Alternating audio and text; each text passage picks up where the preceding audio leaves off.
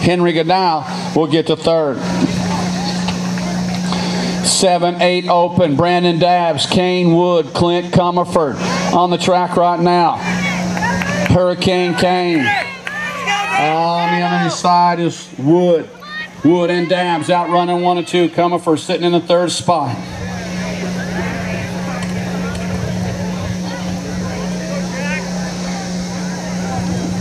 Bringing them back to the line. Looks like double cross colors.